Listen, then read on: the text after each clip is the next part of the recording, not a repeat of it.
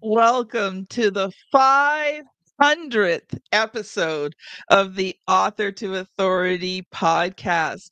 And today I am so, so, so thrilled to have as our special guest Dave Sanderson. Kim, I am I'm blown away. I've never been to 500th of anything. So thank you so much for allowing me to be with you on such a special special day, a special episode. Now, Dave is a nationally recognized leadership speaker He's an accomplished author. He's the inspirational survivor of what is known as the miracle on the Hudson, and we're going to talk about that today. As the last passenger off of U.S. Airways Flight 1549, which had to ditch into the river, he took the lessons he learned from that profound experience in the frigid water. He emerged from the wreckage with a mission to encourage others to do the right thing and share how to bounce back with resiliency to address any ad- adversity they may face. Now, not only is he a nationally recognized speaker, but he's also the author and contributing author of actually four and at least three internationally best selling books, including Moments Matter, Brace for Impact, From Turmoil to Triumph, and his newest book just released in January, The Limitless Life, which I had the honor of privilege of helping Dave with. Now, after 36 years in sales and sales leaderships with roles in companies such as ADP, PeopleSoft, and Oracle, Dave founded his executive coaching and personal leadership firm, Dave Sanderson Speaks International, on January 15th, 2014. In addition to his 36 years in sales and sales leadership, he was the director of security for Tony Robbins for over 10 years and was recently named one of the top 100. Yeah, that's 100 leadership speakers on Inc.com. Over the last 10 years, his talks have raised over 14.8 million US dollars for the American Red Cross. And he lives in Charlotte, North Carolina with Terry, his wife of 37 years, and has four children Chelsea, Colleen, Courtney, and Chance. Man, that's a lot of C's to try to remember. I didn't get a vote for any of them, Kim. That was my all my wife right there. yeah. Dave, welcome to the show. I'm yeah. so glad to have you. Well, thanks again. I'm really excited. Congratulations on 500. That's that's quite an accomplishment. So congratulations. Well, you know, we've worked together for the last few years now and and you know, one of the discussions that you and I have on a regular basis is how consistency plays such a role in success. Yeah, I mean, I think even as we were working together on our book projects, it's all about consistency, right? I mean, it's you got to put a discipline together to be able to, I think, to get any outcome you're really committed to. I mean, a lot of people should do things, and they should all all the time, but you know, with people who make it a must are consistent and have discipline, and that's how things get accomplished. So, I, I commend you because you put a, a system in place, a process in place to help me be able to stay consistent and disciplined, getting some of our projects done. And then we had Destiny in the background giving you constant reminders. Dave, Dave, it's, Dave. You always you always need a destiny someplace, right? I need I have my I have mine, I have my Kelly. You've got your destiny. That's correct. Oh, Yep. So Dave, let's let's just go back because some people might not know your story. So we, you know, we want to cover your story today. We want to cover um, you know, uh, the lessons that you've learned. And um, then we're going to talk actually about the two books that we worked on together. But first, share with me, you know, about that day just over 15 years ago that that radically changed your life. Well, thank you. And Kim, I was so honored you were able to come to New York City on the 15th anniversary and actually see where this happened. It's uh, once once you see it and actually see it in the in a winter kind of pro, you know, in time of year, so you can actually see the effects, I think it has a lot more impact. But here's the highlights. I wasn't supposed to be on that plane. I was scheduled on a later flight, but I had the opportunity to come home early because our business day got done early. So, end of a three day business trip, I travel a lot. Let's get home. So, I wasn't supposed to be on that plane. So, you know, I got on the plane. I gave up a first class seat to go to seat 15A. That's four wing, four rows behind the left wing. And as usual, I didn't pay attention because I know everything, just like everybody else. I know everything, right? So you know, I don't know. You know, I just put my head down, start reading a magazine. But as we know, about 60 seconds after we took off is when there was an explosion. And that's what got my attention because I never heard an explosion on a plane. So that sort of rocked me a little bit. So I looked out the window and saw fire coming out underneath the left wing. So I knew something had happened. But, you know, I fly so often, I know these planes all have multiple engines. So, you know, okay, the engine got knocked out. We'll go back to the airport. I'm not getting home early, but you know what? We'll go back to the airport.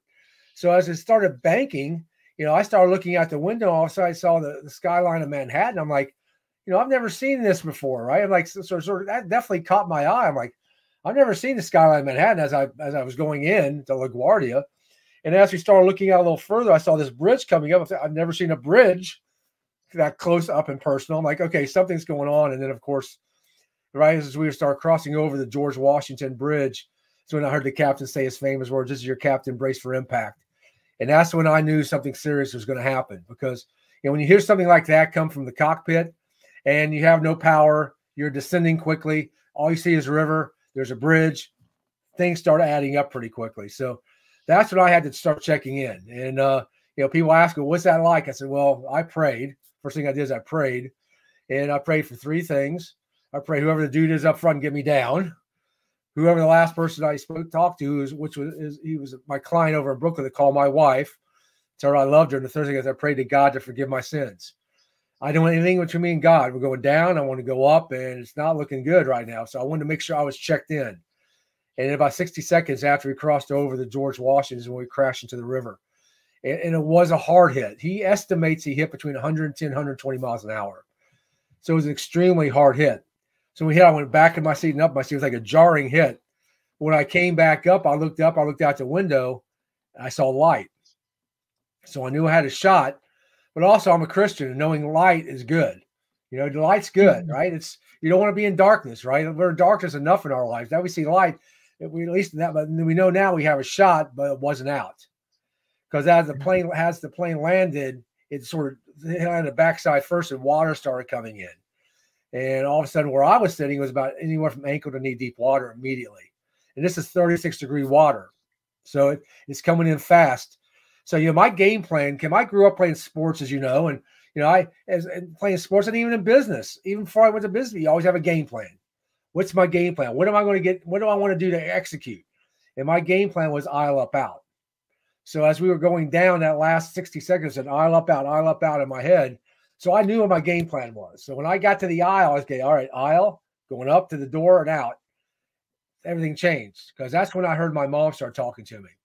And my mom passed away in 1997. But when I was a child, there was something she would tell me, and probably my sister and brother, she probably thought it was all the same thing. If you do the right thing, God will take care of you. And see, as I look back at that, what she said in my head and I heard, my mother never told me. She said, if you do the right thing. It was like she was giving me the choice. And, you know, I could mm-hmm. gone out and that would have been fine. But, you know, the way I was raised is I grew up in a small town where everybody knew each other and everybody cared about each other, so everybody took care of each other. So instead of going out, I climbed over the seats to go towards the back of the plane just to see if anybody needed help. And things were moving pretty quick. And the water was about chest, deep, chest deep in the back because the angle of the plane you see on the big picture from the front doesn't show you that actually the back of the plane is actually submerged. It's already submerged. So it's already about chest deep water. So, you know, I, I get behind the last person. I'm making my way out. It's dark. As you remember, it's late afternoon winter New York, and you're already underwater. So, and yeah, luggage is uh, floating in the water. So you're running into things as you're walking out. But the first light that I saw was on the right at 10F. I'm like, I'm out of here. Time to go. But then I, I looked out and I was like, I'm ready to get out of that wing like everybody else. But you look out, that wing was already filled. And the lifeboat right there was filled. And but all of a sudden, people are already being rescued by the ferries. That's why I tell people whoever said it got it right when they said that the crew got everybody down that day the crew and passengers got everybody out, but the real heroes were the first responders. Mm-hmm. But that's why I was inside the plane, waist deep in 36 degree water for about seven minutes because the, the, the boat and the wing were already filled up. But then a mm-hmm. few minutes later, about six or seven minutes later, there were a lot of things happening. And I mean, there was, you know, I saw a lady on the wing who wasn't moving. There's a lot of things were going on, but about seven minutes later, I felt the plane rock. And I didn't know what happened, but I found out later one of the one of the tugboats that was part of the rescue, as he backed out, he hit the front of the plane, which shook the plane, which meant water's going up my back. And the first thing I thought was Titanic. I said, oh, that movie, I just saw that movie because then when that boat tipped up and it sucked everything in it, I said, man, this thing's going down, man. I got to get out of here. I got to get out of here now. And I always stop here and think my mom and dad because they had made me get swimming lessons when I was a child. I mean, able to get off this plane. You see, that's where, where the genesis of my first book or my, my first full book, myself, Moments Matter, came because that's one of those moments you realize these moments are in your life for a reason. Yeah, that, that moment, my mother made me learn how to swim, and that Boy Scout moment when I had to swim, you know, across the river to get to the next activity. Maybe that was there for prepare me for that exact moment, because that's when I had to swim to save my life, and that's pretty much a condensed version of what happened. But it's uh, all these moments that add up in our life are there for these certain defining moments. So you can't let any moment in your life go by just thinking it's just there for not for a reason. It's there for a reason. So you were in the plane for quite a few minutes, knee deep, chest deep water. Um, and then so you when you got off the plane, you ha- you swam to the ferry. Is is that correct? Correct. I had to swim, and as I swam as close as I could to that wing, so I had had I had something to look at. Right, I had something there, and you know, it, it, people I tell people that's the longest 15 yard swim of my life because not only was the water 36 degrees, and I was fully clothed, but there was yeah. also jet fuel in the water. And that's why Ooh. I wear glasses today because when there's a picture of me in the hospital and all the media that night, they took a picture and I was like having a hard time seeing because they found out when I got back to, to home and I went to the optometrist, I had jet fuel in my eyes and little specks of jet fuel that were causing. So that's why I wear glasses. But I got there though. I got there. And now I'm holding on to the wing, trying to figure out what I'm going to do next. And now I yell and climb, and I yell up can't. Yeah. And then my mom started talking to me again because when I was a child, and you said I can't to my mom, my mother would say, "If you can't do it, you're going to do it." You know, and I after after all this came out, Kim, is I think you know my story. That's what I realized what my mother's worldview was. See, I think everybody's got a worldview about what's what's their life, what's what's their life really look like. Yeah. My mother's worldview was, "If you can't, you must," because she would never yeah. let any of her kids say that because she did. She believed that if you said can't, it puts in your head that you're right, you can't, because whatever you say to yourself is true. So I never said that word, but I said it. And I heard it. It's like that's why I got one arm up and the other arm up and started climbing until I couldn't climb anymore. And two two gentlemen grabbed me and pulled me on the ferry. And that's how I got out of the water to get to the ferry. And that's uh well yeah, at this point you're hypothermic, right? Your your body's shutting down. And so it would have taken every last ounce of your strength to pull yourself up. And I, I think in those moments, you know, um, you know, God honors that. Like he gives us, he gives us the strength. Um, when I was giving birth to my first uh, child, I had been in labor for a very long time, a very hard, very severe labor. Um, you know, I had been pushing for over two hours, completely, totally, physically, mentally, you know, emotionally exhausted. I had nothing I had nothing left. And the doctor's telling me I've got to push this kid out who's stuck. And I'm like, God, I can't do this. Like, I just, I can't, I can't. And, you know, all of a sudden it was just like, God, you've got to help me. Like, I don't have anything left in me to bring this child into the world. And, you know, there was just this one moment where I just felt like this surge of strength come, it came from the top of my head. So it's not like a normal place, but literally just top my head through my body. And I pushed my son out. But, you know, in that moment, I had nothing. Yep. I had absolutely nothing. And yet, you know, God is faithful. Yeah. I think that, um, on that day, and this, this is my belief only, you can believe whatever you want to believe, but God said, You served. You served. Yeah. Now you need to be served. So I think that's what, from that point forward is when people started taking care of me. Because before then it was just mo go, go, go, trying to handle the situation. But I think sometimes you just give it up, say, you know what, I've given it. It happened to me a couple weeks ago, likewise, you know, when uh, when I was on another plane and had another plane incident, emergency landing, and you know, I, I gave, gave, gave, and then it came to a point. I said, I, I, the first captain said, "You're pretty resourceful." I said, "Yeah." But I got to a point where I said, I, am out of resourcefulness right now. I just need someone, someone to take care of me. And someone did take care of me. So I believe, I believe what happened to you have happened to me. You get to that point where you serve to the point where you need help. and it's not it's not yeah. you're not you're not uh, weak if you ask for help. You know, you're not nope. weak. You just sometimes, you know, like that story with Jacob with God wrestling with Jacob, right? He wrestled, wrestled, wrestled. Jacob did not give up. It's yeah. Bless me, right? Bless me, and I'll give up. And you know, God's God respected that. God respected mm-hmm. that. Named a whole named him after a whole country, right? A whole whole whole tribe. So if you've never heard of the story of the miracle on the Hudson, I recommend you watch the movie Sully. But, you know, that day was incredible because the the first responders, the uh, American Red Cross, the ferry system, the New York Transitway, I think it's called. Yeah. Um, and then there was also special divers that were um, came into play as well. So you've got all of these major organizations from both New York and New Jersey. So my understanding of American geography is not the greatest, but my understanding that's two different states, right? Am I correct in saying that? Two so different all states, of these people, two, two different jurisdictions. Exactly right. So you know, all of these people in less than a half an hour mobilized and got you guys off of that plane. Yeah, I think one of the things as you heard for the first time in public um, that day when we were together in January, when Gio talked about the plan, and you know that plan that they were developing, it was based not on not on a plane, it was based on a boat goes down in the Hudson. But that plan was only signed off a week before this happened.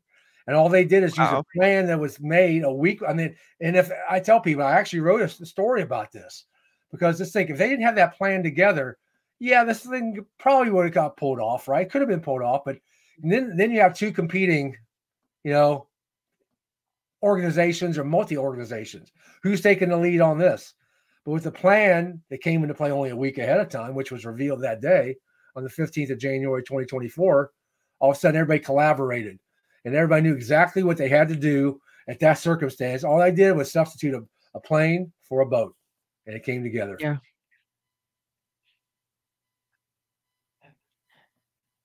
Now, you've written several books, and I've helped you with two of them.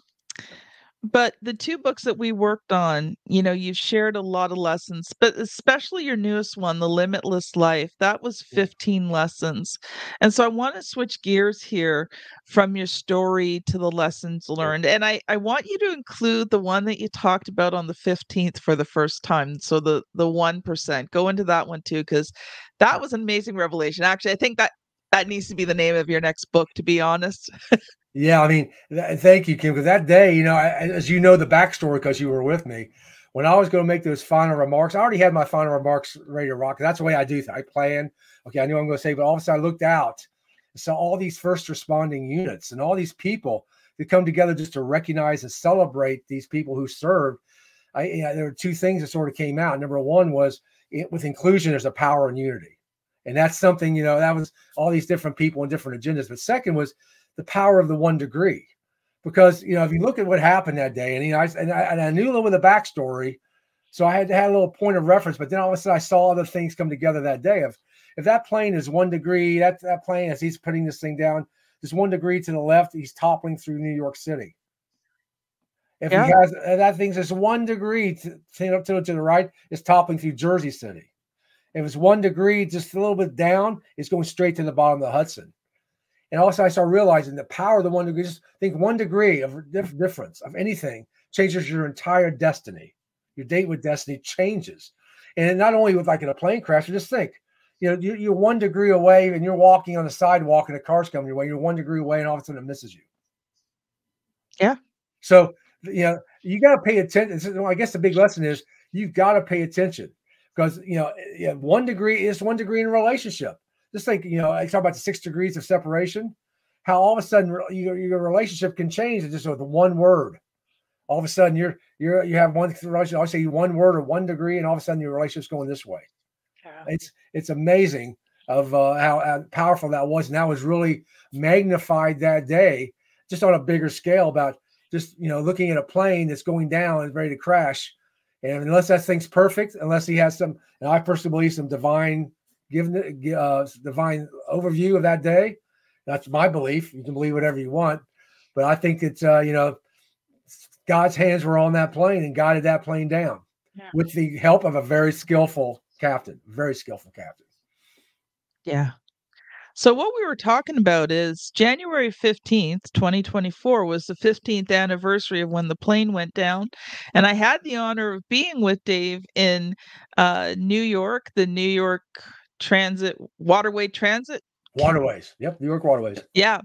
And uh, Dave held a ceremony there celebrating the first responders because there's been a lot of attention over the years um, to the captain and the first officer. There was a lot of attention paid to some different people, but you know, those first responders really didn't receive the recognition that they deserved. And Dave felt that they needed to be recognized, especially on the 15th anniversary. And so we had a ceremony right where the ferry docked. Yeah. Uh, on the New York side to celebrate the the first responders and and if you google it it was on a lot of the news channels and that you could see uh, parts of it Dave if you've got a link to it we'll uh, we'll put a link to that in the in the show notes but you know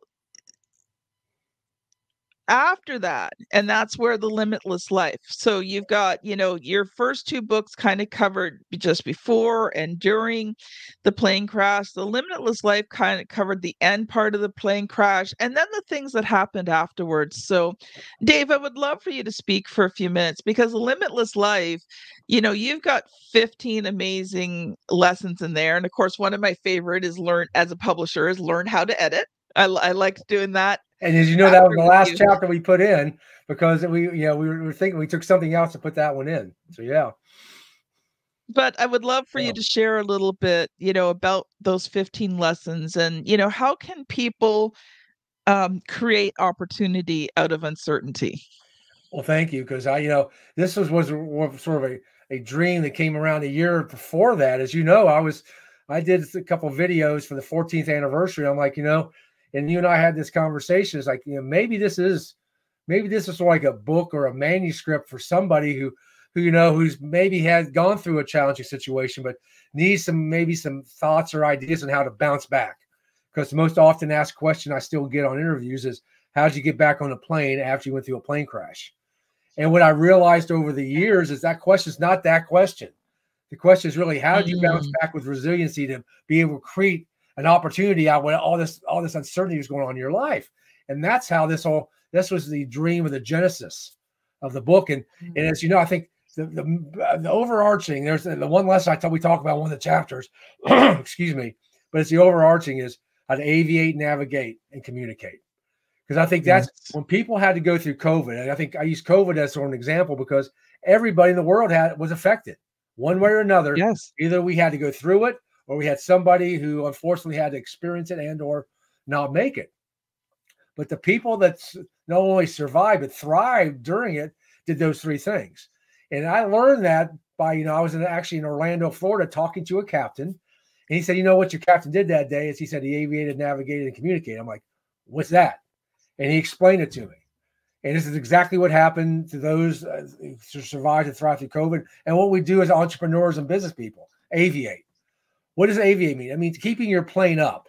So it gives you an opportunity to do do something else. So during during that plane, that situation on the Miracle on the Hudson, the captain and the first officer had to keep the plane going until they could make a decision.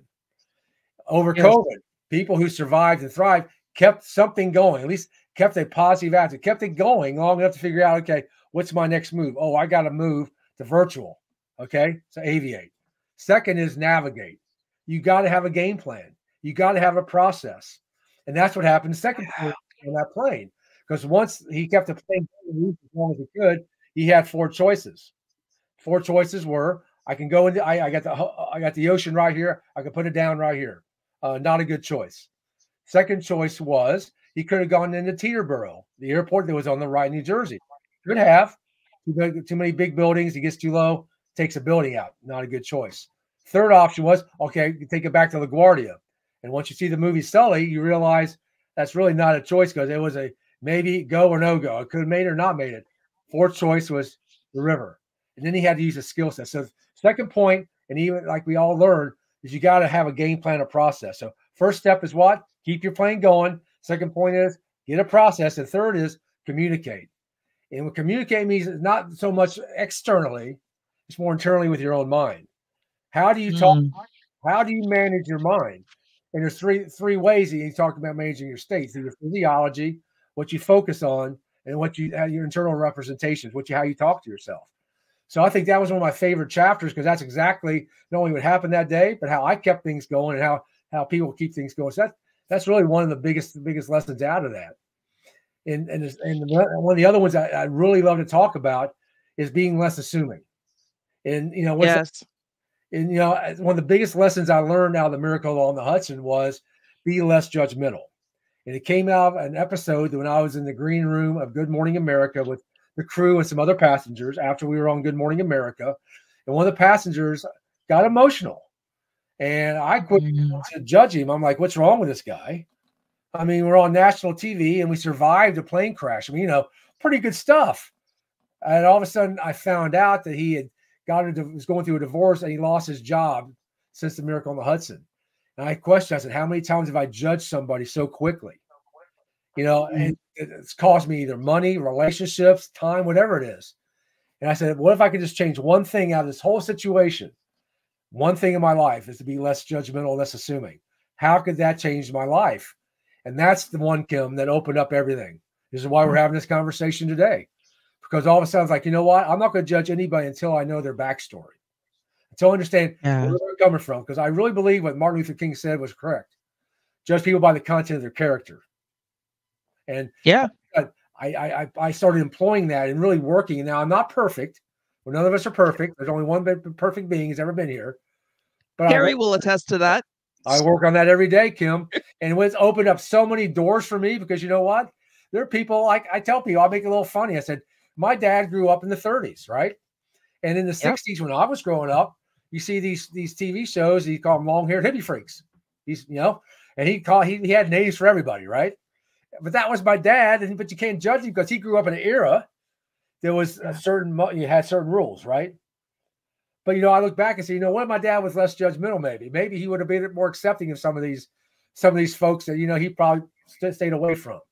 So those are two of my favorite chapters. I mean, there's 13 other ones like the editing one. I, editing really, I mean, helped me how in my life how to set boundaries. It was a, so yeah. I'm really I'm so excited about this. I can't wait to uh, share this more in, uh, in the coming weeks here in, uh, in Canada.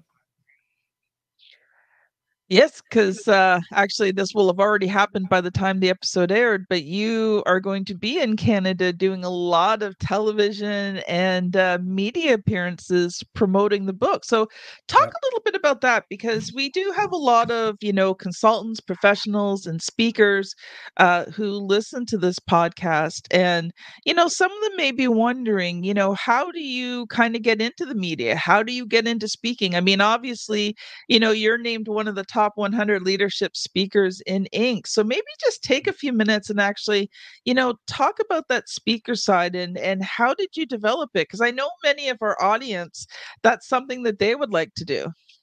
Yeah, I, and, and I wasn't planning on being a speaker, but I had the opportunity to speak at my church, which had an enormous impact on me because I there was a lady there, elderly lady who came up and after she heard me speak said, I was questioning if there's a God. I don't believe in miracles, but your physical evidence there's a God. He does miracles.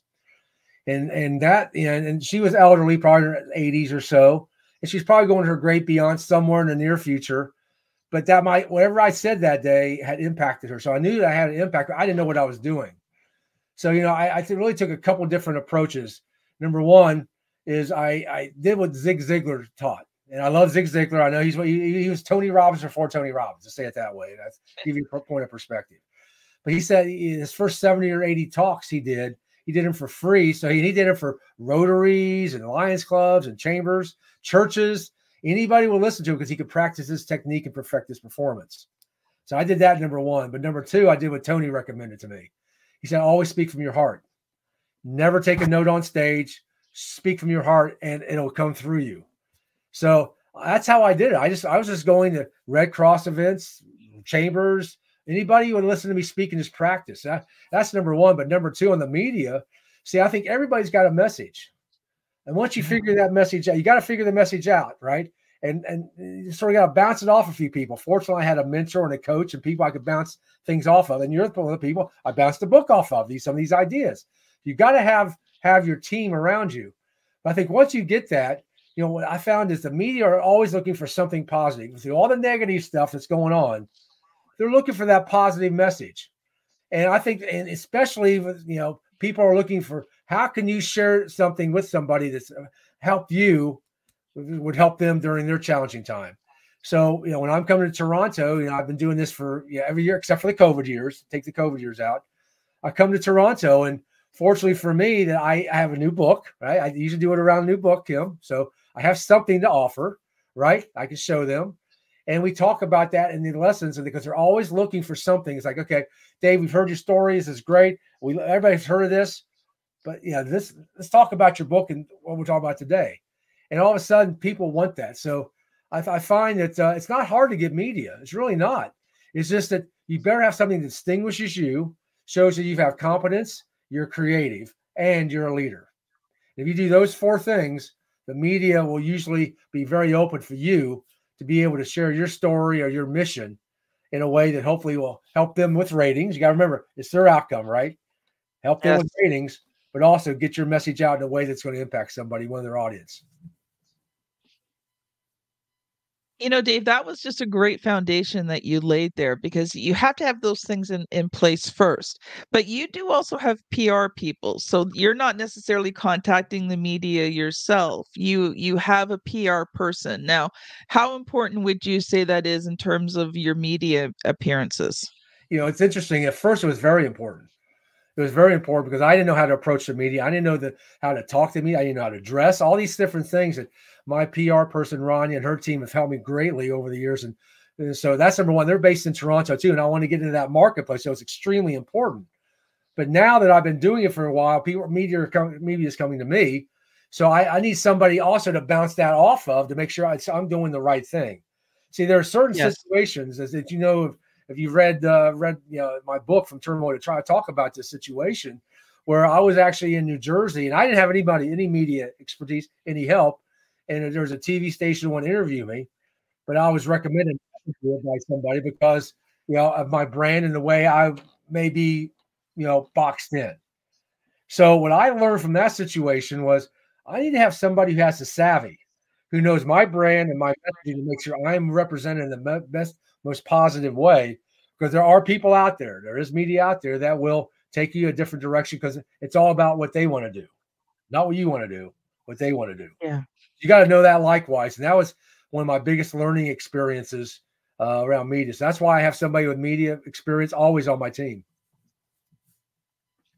Now, you had something very interesting happen right after the plane crash. You had a conversation with Tony Robbins because um, you were working with him at that time. Talk about that because that was something that was really critical that helped you in the days and the months ahead um, especially as you started to gain more attention. Yeah, I was in the hospital. I didn't have a phone. My Blackberry, yes, Blackberry friends. I had a Blackberry and it was at the bottom of the Hudson. So I had nothing, but you know, I was the head of security for Tony and I traveled all the time with him. So, but you know, I wasn't thinking about Tony Robbins at that point. I'm very, I wasn't thinking about Tony. I was just thinking about recovery.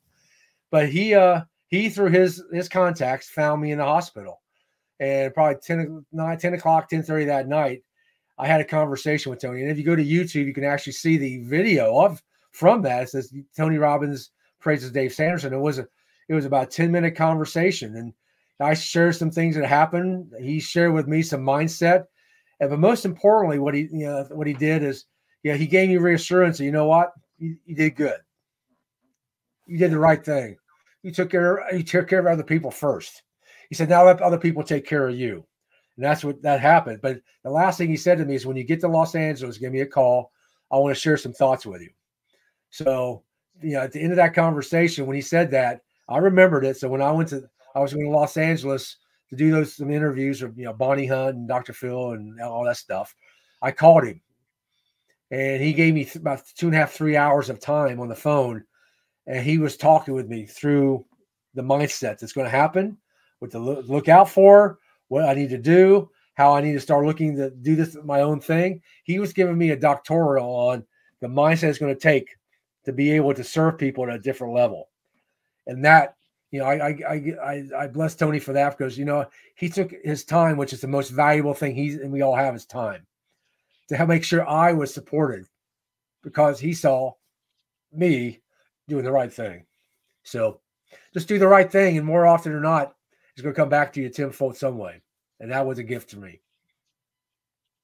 And I, I think too, I remember from some of our conversations was, you know, one of the things that Tony did was he did warn you like you know as as you got out there more as people started to get to know your name he gave you some really sage advice on some of the do's some of the don'ts what to look out for what to prioritize not what to fall for mm. you know he really helped to guide you through that that time period because you were gaining a lot of attention but you were also gaining people who didn't like the fact that you were getting all this attention. So maybe speak to that a little bit because I think that's something that, you know, us as entrepreneurs, consultants, professional speakers, you know, when we finally do start to get that attention, I don't think we're always ready for some of the negative um, consequences that can happen, you know, when you do become popular and seen and noticed. You know, that, you know, that was some of the best advice I had received from him because there is a eh, I've, like you said, there's going to be a threshold point. There's going to be a threshold point where you know you, you know you're doing everything you think is right, but somebody's going to take that and interpret that a different way. And I had I've had some people in the past that took it a different way. I said you shouldn't be receiving this kind of notoriety. You shouldn't be doing this. You know, and it's like they were coming down on me hard. And it's like I didn't understand at first, but then I remember what Tony said. It's like, you know what? You know, everybody's got to deal with their own stuff, right? That's not my stuff. That's their stuff on how they represent it. See, the, the, one of the things he told me to do, and he recommended this. And if you, there's a little thing in the back there next to the globe that someone actually put it on, nice little thing for me. He said, always stay humble, always have humility.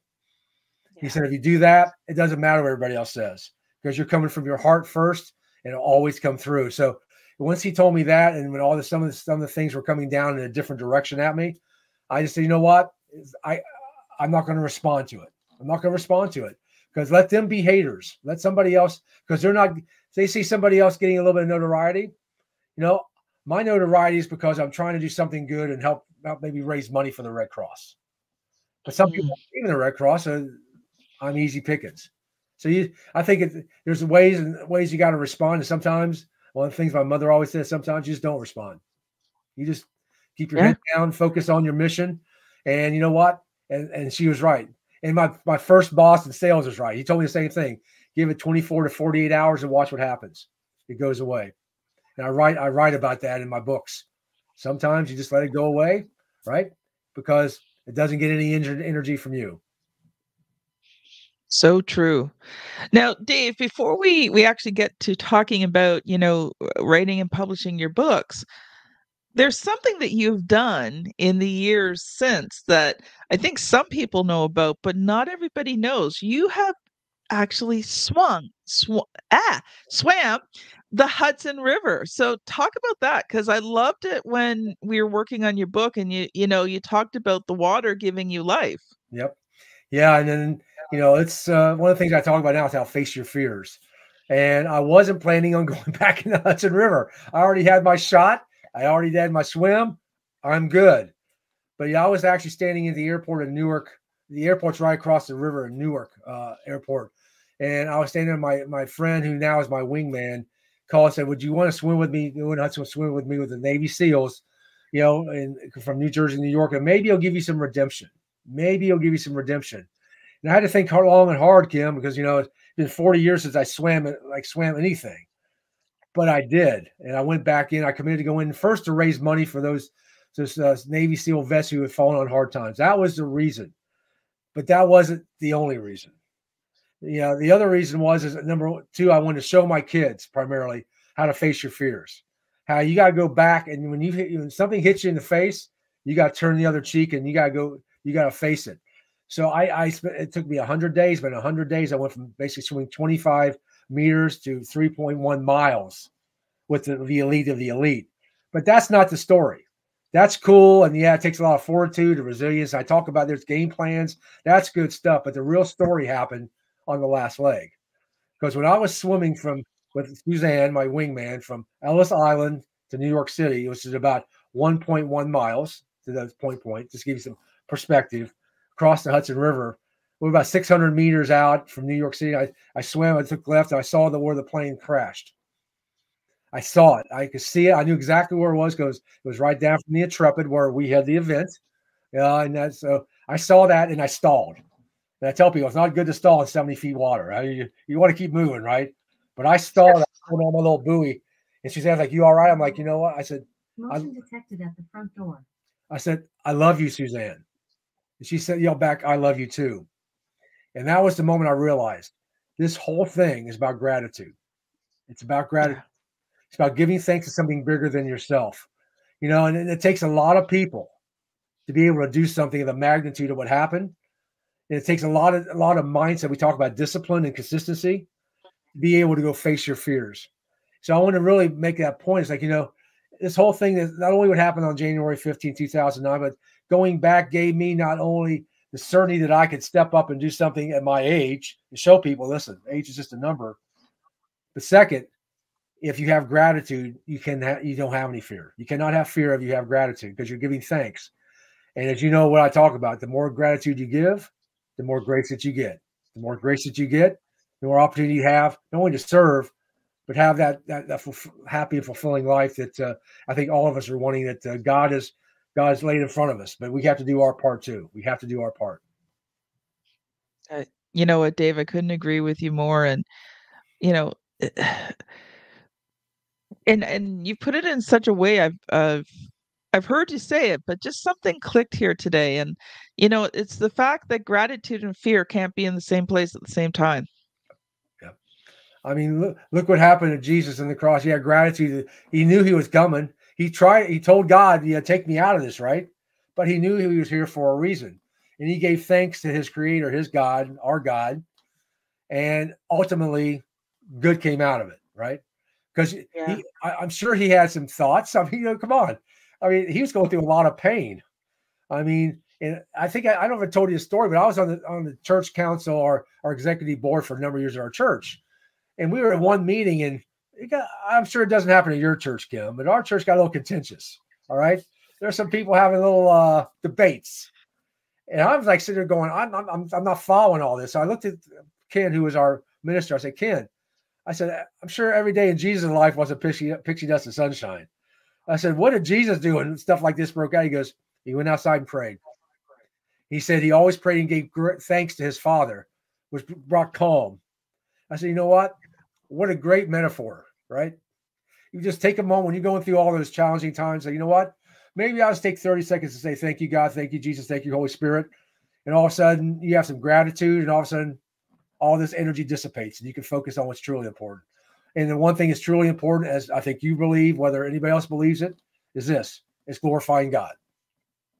Yeah. Yeah. Oh, we've unpacked a lot today already there, Dave. And I think we could we could definitely do a deep dive, but I want to I do want to talk a little bit about your book because um you know, it was such a wonderful experience getting to work with you on two of the books from turmoil from yeah turmoil to triumph and the limitless life but you know i want to talk a little bit you know about that process of writing books for you because we we did it very collaboratively um on both books but i would there's a question i ask every single author that comes on the show so i'm going to ask you the question and then we'll we'll dive into it a bit so, what has been the good, the bad, and the ugly about writing, editing, and publishing books?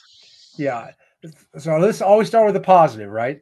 One of the great things about writing your own book is I made a determination on Moments Matter and From Turmoil to Triumph and Limitless Life to self publish. That way I can control my story because I had other people, as you know, we had this discussion. I had people who wanted to publish the book. I I, I didn't want to lose control. I wanted to make sure that my story was my story. And where I learned this from is on the first book that I actually wrote a chapter from Brace to you know, Brace for Impact, is mm-hmm. that during that time, Kim, there was another book being written called The Miracle on the Hudson. And they came to me and they wanted me to do the same thing. And at first I was very excited. I go, ooh, someone wanted to. But then what they said is, I had, I had a contract that said for one year, you can't tell this story. Basically, the book's the story. You can't go out and tell your story. I'm like, what? I've already told my story. Yeah. No, no. So I learned that if I could self publish, the great thing about it is if I write it, I self publish it, I can control at least the outcome. Now, the bad side is, is something we learned on the first book is we had a deadline on the first book, Moments Matter, and we had one on the second book too, but we learned our lesson because the first book's deadline was January 15th, right, of 2016. As I tried to publish right around the anniversary. And we had it done. Always it was all written, right? And Cindy and I are collaborating. I, I'm dictating, she's writing, we're doing all this. But we had a big book launch in New, Jersey. In fact, there was a billboard on the Lincoln Tunnel about the book launch. I mean, all over. I mean, it was a, unbelievable. So we had to get the book. So what did we do? We forgot. We didn't edit it. We just got it out there, and all of a sudden we got it out there. It was great. A lot of pu- you know publicity and all super until I had people writing me and texting me and texting sending me all these mistakes. I'm like, wow, you know, because we skipped a critical step called editing. So because we, we had a commitment. So the bad thing is don't make a commitment unless you can live up to that commitment and make sure it's all all your I's are dotted and T's are crossed. And so, you know, on the second book, which you were, I had it edited three times, you know, you were the third editor. Because I'm like, I learned my lesson. I learned my lesson. And as you know, you found things from the second edit and the first edit. We still need to edit, right? So I learned that lesson. So that's the bad, good, and the bad. The ugly side is, is you know, and I don't think it's ugly personally, but you got to push it yourself. And you know, but you know what? Well, if people say, "Well, you get a publisher, they'll do it for you." You know, they'll do it to for you for a point, to a point. But I also learned is this: is if you collaborate with other organizations, they will help you. So the ugly actually yes. around because that's when I said, you know what? Every I, I donated a percentage of every copy of Moments Matter and Turmoil to Triumph to the Red Cross and then they they were very kind in not only purchasing the book but publicizing the book for me uh, around the country and North America. So, yeah, there's good, bad, and ugly, and I've seen the ugly side too. I've had people who've gone to publishers who could not get their rights back, and all of a sudden, mm-hmm. the story is the way not the story they really wanted to tell. It was edited to the point where that's how they thought they were going to sell books because that's what a publisher does. They sell books. Me, I want to get the message out. I want to control it selling some books is great, but it's more about using this as sort of a as, as a as a calling card or a you know here's my story and here's some more insights that you're not going to get from me unless you read this book. Yeah. Yeah. I remember when you first came to me through Larry Levine and audience, if you've been on the show for any length of time, you know Larry. Uh, I talk about him often, and uh, you know if you want to know more about Larry and selling from the heart, that's episode four twenty seven. Uh, but I I do remember when you first came and and you gave me your book, and we were looking at it, and I'm like, okay, like we've got to you know we've got to eh, do a lot of work on this and so when we started the limitless life you know you and i had those conversations okay here's the timeline here's the expectations here's what got to be done and then it's like dave we got to get started. Dave i know you're busy but if you want this book yep. for the 15th anniversary we have to get started. Yep. And i think you know when when you're looking at doing a book um one of the things you talk about a lot is is coaching and mentorship and so yes it's going to be speaking about me a little bit but can you talk about you know because you've worked with a couple of different publishers you know what was some of the benefits of of working you know with a publisher to be able to get your book out and the right publisher? Because i think that's important too like you and i before we ever worked together we had conversations. We we made sure that we were a good fit for each other before. You wanted to make sure that I understood your message, you know, that I was going to be able to keep to timelines. For me, I wanted to make sure that you were going to be the type of person that I partnered with, right? Mm. You weren't just hiring me, we were going to be partnering together to get your message out. Yeah. And I think, thank you for that because, you know, I'll take it sort of one level deeper um, because one of the things that I did when I was in business, working for companies as a leader, and what I do in my team, little team right now, I still do it today, is you know what's most important to me. Uh, there's three things that are really important, but there's one more one on the end that's more important. First, uh, you know, do you can you do you have the confidence to be able to pull it off? Do you have that? Second, do you have the competence to do it? Mm-hmm. And third, I need somebody who's creative, who's going to get think out of the box. The fourth is the one that I, that I is the is a determining factor for me. Is are you a cultural fit with me and my team? Because all these three things can be great, but if you can't culturally fit in my team, or I can't culturally fit into what your process is, it's not going to work. It doesn't really matter. So when we were having those discussions, that's what I was digging for. I knew you were competent because you know Larry. I took Larry's recommendation. You did with Larry. Okay, she's competent.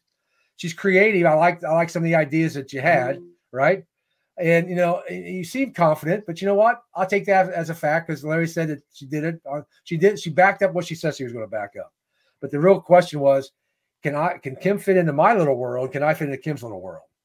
So once that was established, then it was like, okay, can, can we get it on time? And, and, and the first one, as you know, it was more about taking all these different. Uh, I wrote every word of that book, as you know, every word, and it's been edited twice. But I knew it needed to be edited a third time because I learned my lesson from Moments Matter. I learned my lesson, right? I may be stupid, but I ain't dumb, right? I learned my lesson. So you you gave me some creative ideas on how to do put it together. So I knew that. So when I was doing the fourth fourth book, which is my third total, just myself, the limitless life, you know, I had the concept but then you and I, I, I trusted you enough because the cultural fit to collaborate with you. Say, you know what, I got these 15 lessons, and you knew that I recorded 15 lessons, right? I recorded all but one of those lessons are in this book. The other one is not in this called the editing chapter because that was the last one in. But you say, you know what, we got this. I think we got a book, Kim. So I trusted based on our cultural fit that you could figure out how can we structure this in a way to get it done. And and you knew because this is discussion number one. Oh, by the way, the 50th anniversary is about 10 months from now, right? you get this thing done. And yes, first month or so is slow sledding and probably causing me. But then you you gave me something which Lisa, who's my operation manager, is, is basically always on me about. Follow the process. Just follow the process. Yeah. And once we start following the process, it all fell into place, right? So that's what I would tell people. I was like, you know, you know, there's a person, does your publisher give you confidence that they can do it? Do they have the confidence they have done it? Are they creative enough to put you sort of set you apart? The fourth, can they culturally fit? So the the, the other big publishers who approached me didn't have number four. They had the first three. They didn't have number four. Yeah. Right. That's the distinguishing factor, cultural fit. You know, and, and it's the same for me. Um, I have actually turned away clients because you know, I didn't feel the synergy. I didn't feel that we fitted with each other.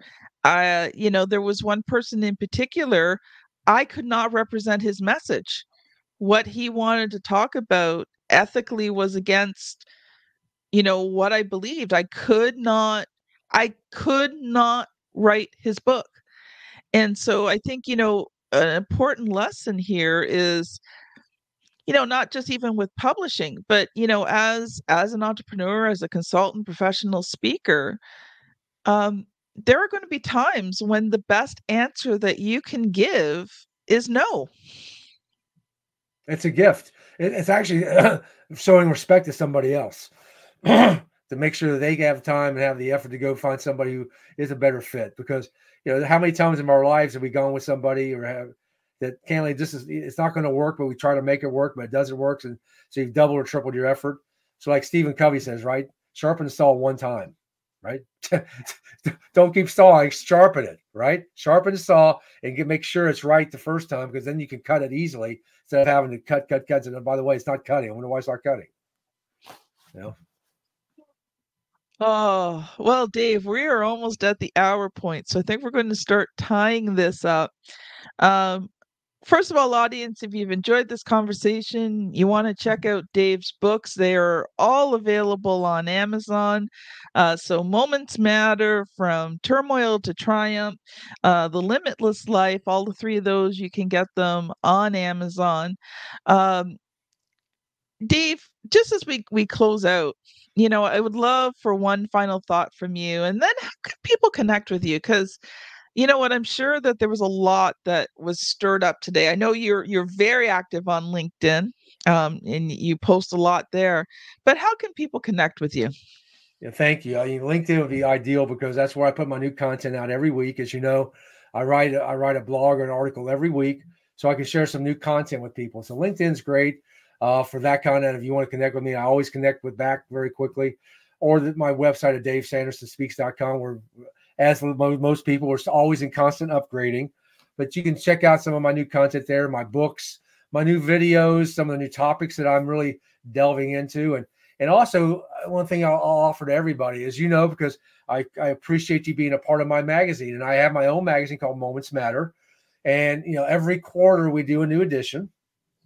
And if you go to my website at davesandersonspeaks.com, go to the it says books and magazines, go to magazines, you can get the, a digital free copy of the digital magazine, or if you give give us your name and uh, address, we'll send you a physical copy. Likewise, if you like to do it that way, to have a physical copy. But Kim was so kind to be a part of our magazine a couple quarters ago, and it's uh it's amazing um, how this one little magazine is being able to expose so many other people's stories about the moment in their life that changed them, that triggered them, and that's what my, my magazine's about. And you know, it's one of the things I learned from being with Tony. If you want to be outstanding, you got to stand out. You got to do something different.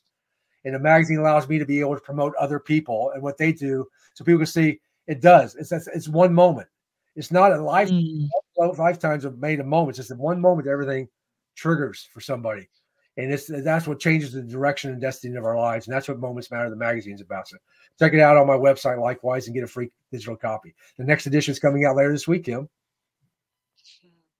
So we'll already be out, audience, by the time that you are listening to us. And Dave, I was very deeply honored that um, you allowed me to talk about the power of words. And, you know, there were two moments a very negative moment that defined my life for 30 years, and then a moment when I redefined that first moment and was able to move forward in life. So thank you for letting me share that story. Well, well thank you for being. I'm honored that you you because I know it takes time and effort, and there are specifications of the book. You got specifications, right? So I know, but I appreciate that. And you know, one of the things I made a commitment for every edition, just so everybody knows, give some perspective. Every edition will have a Canadian. Every edition will have somebody from the military.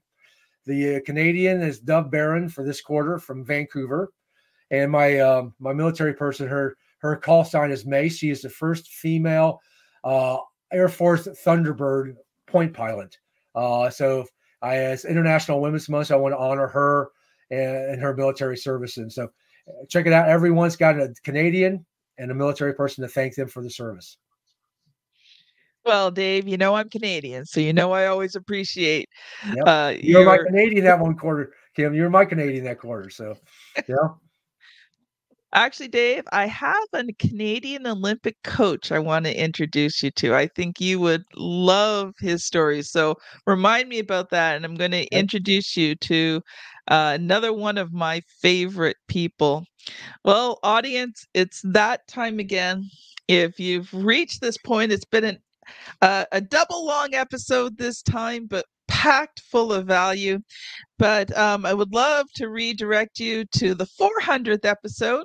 If you want to find out more about the Author to Authority podcast, how it came to be, uh, it, I, I, had my dear friend John Lusher interview me for the 400th. So uh, I didn't lead the podcast, he led, and I got interviewed for it. So if you are watching and you're on YouTube, you know the routine. The thumbnail is here somewhere. Uh, my daughter does put the thumbnail up. I'm just not always sure where. And if you're on your favorite podcast app, well, if we're at the 500 and you're going back to 400, you are definitely going to be you know, using that finger to scan back. But I guarantee you that if you want to find out more about the Author to Authority episode, ah, Author to Authority podcast, that's one of the best episodes to do it. Well, audience, thank you so much. Dave, it has been an honor and a pleasure having you here on the show. And we will see you on the very next episode. Bye now.